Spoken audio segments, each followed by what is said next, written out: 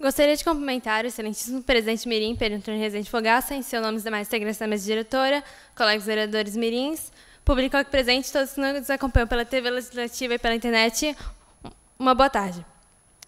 É, eu decidi trazer esse tema para lembrar pessoas que foram julgadas por causa de sua cor de pele e ainda são hoje em dia.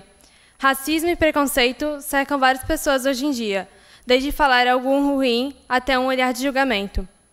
Hoje eu venho falar do dia que é usado como reflexão da importância da inserção do negro na sociedade.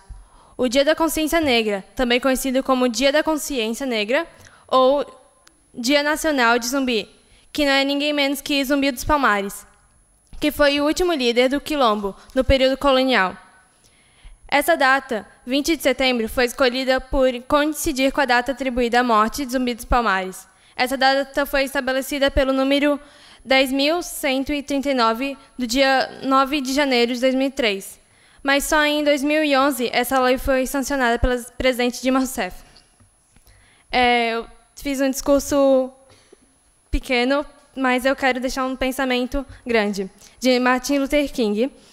Eu tenho um sonho, que os negros e os brancos andassem na mesma mesa em paz, e outro de Tiago Saraiva. Não precisamos de um dia da consciência negra, branca, parda, amarela, albina. Precisamos de 365 dias da consciência humana. Obrigada pela atenção.